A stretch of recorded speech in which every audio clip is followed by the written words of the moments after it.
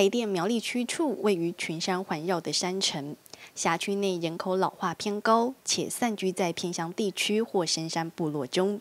为了服务这些偏远山区的民众，区处发起了台电干妈点社区繁星计划。简易案件现在也可以在地申办，提供偏乡居民贴心的有感服务。我们就是要有别于过去了哈，有别过去，因为人家用户都来我们公部门的办公场合来办，那我们想要走出去。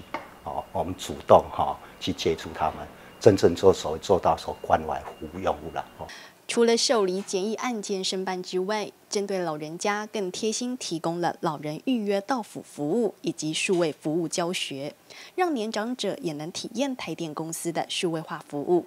而平时为了保持与干妈点的联系畅通，台电人员也会定期做电话关怀。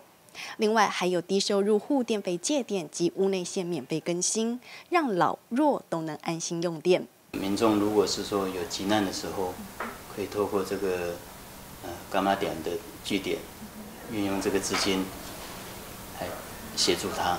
为了筹措电费借电及屋内线免费更新的资金，苗栗区处进而发起了爱心义卖活动。初试提升就募得了近二十万元的爱心基金。从关怀的角度出发，秉持哪里有需要，服务就到哪里的理念，苗栗区处期盼借由台电干妈点的设立，将服务散播到每一个角落。林佳慧、李报道。